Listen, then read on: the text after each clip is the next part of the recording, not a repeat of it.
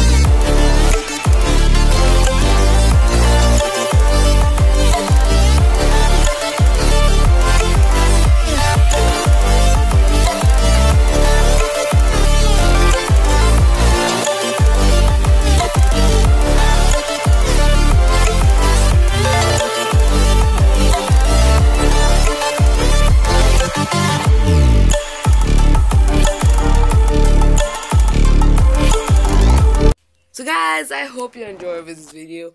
I think I might play some more of this if you guys like the video. It's up to you guys. So yeah, this was a pretty good gameplay. He has guns. I love guns. I said it twice. I know. But guys, if you like this video, please leave a like and don't forget to subscribe. And before I leave, I'll see you guys to the next video. Bye bye.